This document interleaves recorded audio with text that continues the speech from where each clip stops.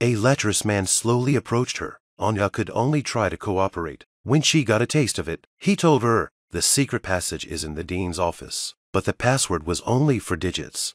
He made an even more outrageous request. Anya took the opportunity to bite the man. The man's screams drew the crowd. Anya took the opportunity to go to the dean's office and entered the code several times, but it was not correct.